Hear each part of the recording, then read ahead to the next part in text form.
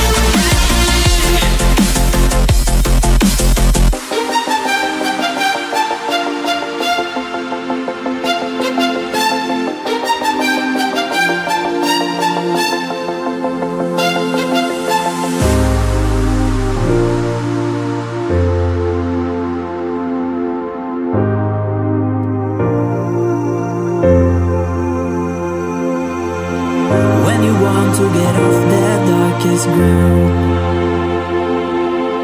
But gravity pulls you straight down.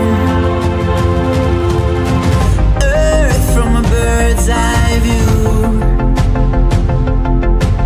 You should grow feathers and see this too.